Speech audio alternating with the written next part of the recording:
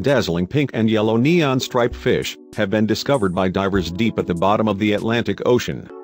First spotted at a depth of 400 feet beneath the ocean's surface, this cryptic fish lives in the rocky crevices of twilight zone reefs, where sunlight is scarce. The deep diving team was so captivated by their finned find that they didn't notice a massive six-gill shark hovering above them, a moment they captured on camera. Named after the Greek goddess of love, Aphrodite, is found nowhere else in the world, other than these reefs 600 miles off the coast of Brazil.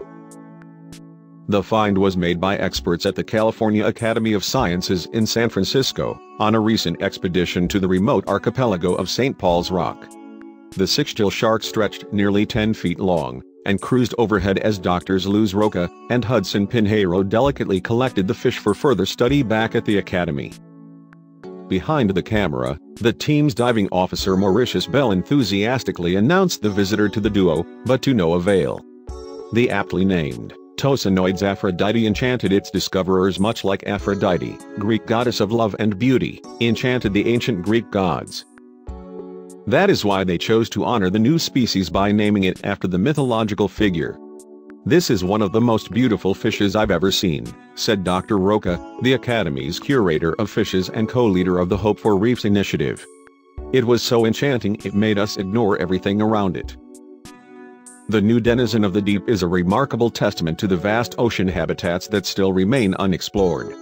Rocha and Pinheiro are part of a deep diving research team that ventures to Twilight Zone reefs, mysterious coral habitats stretching across a narrow band of ocean 200 and 500 feet beneath the surface. In these deep reefs, animals live in partial darkness beyond recreational diving limits, yet above the deep trenches patrolled by submarines and remotely operated underwater vehicles. Fishes from the Twilight Zone tend to be pink or reddish in color, added Dr. Pinheiro. Red light doesn't penetrate to these dark depths, rendering the fishes invisible unless illuminated by a light like the one we carry while diving. Back at the academy, experts helped the diving duo describe the new species. They found that males are outfitted with alternating pink and yellow stripes while females sport a solid, blood orange color. Using a microscope, the team counted fins and measured spine length. DNA analysis revealed the new species is the first Atlantic-dwelling member of its genus, a rank in the biological classification that can include more than one species. The full findings of the study were published in the journal Zookeys.